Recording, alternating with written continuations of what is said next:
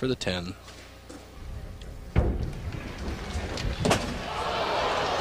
Oh my, misses the 10 pin completely. We're bowling in Erie on the TV show, the semifinal match. I believe the way that everything would start, Bob would start with a strike, I would get up and throw a double, and then sit back down on the bench.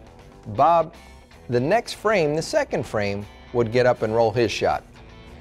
Well, I went up and I left the 10 pin. Of course, I, I threw a better shot than, than Parker did the prior shot, but I left the 10 pin.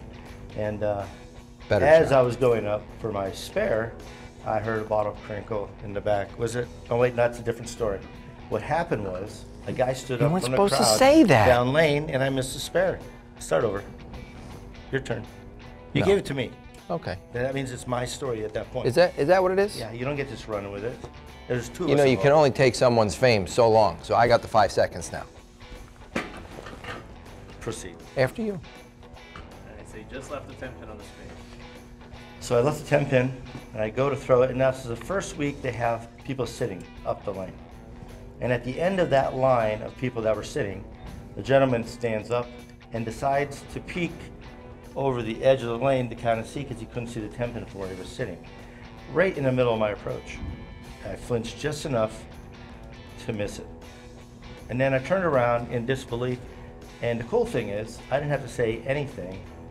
Uh, Parker, I, I did. I thought it was a young lady that stood up, but either way, it was someone, one of the spectators, had stood up in the middle of his approach. Clearly, no question, caught you right then and there.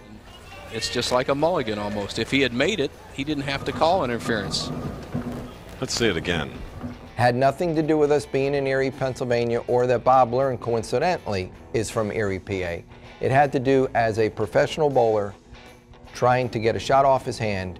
And at that moment in time, the, one of the few times at that time that we had people sitting down lanes, the initial time, and I really felt from my heart an unjust was served by this person standing up. So I felt like the only right decision is for him to shoot it over. And to be clear, the PBA rules at that time were if there was a distraction that caused uh, inter- interference with your shot, you could get it over.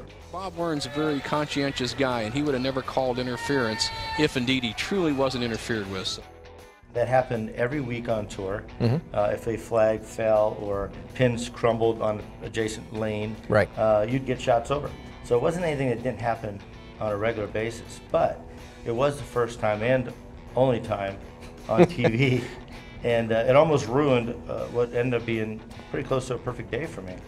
Uh, and you know, thank God, uh, we got someone that uh, is nice enough to say, you know what, what's right is right, and uh, should get that shot over.